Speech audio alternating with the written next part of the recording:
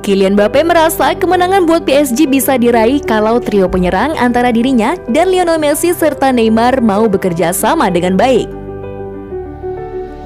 Berkat dukungan modal dari pemilik asal Qatar, PSG bisa membeli banyak pemain hebat kelas dunia.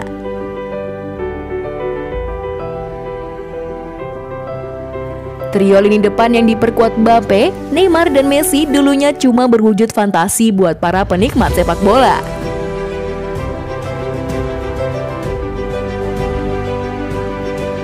Namun, memiliki ketiga pemain tersebut rupanya tidak menjamin PSG bisa meraih kemenangan di setiap laga.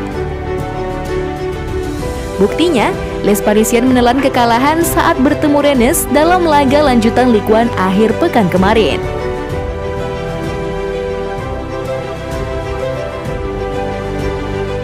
Parahnya lagi, dari 13 tembakan yang dilakukan selama laga berlangsung, tidak ada yang menemui sasaran.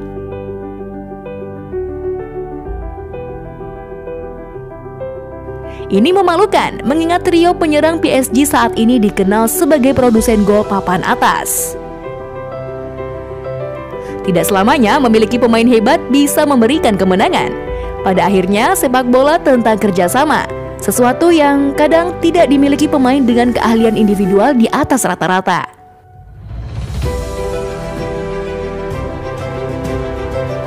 Saat Anda bermain dengan pemain hebat seperti itu, Anda harus berbagi kue agar seluruh tiga pemain bisa makan, ujar Mbappe. Mbappe menggambarkan dengan jelas bagaimana situasi di lini depan PSG. Pemain berusia 22 tahun itu mengingatkan kepada Messi dan Neymar untuk saling berbagi kalau ingin memberikan hasil terbaik di setiap laga.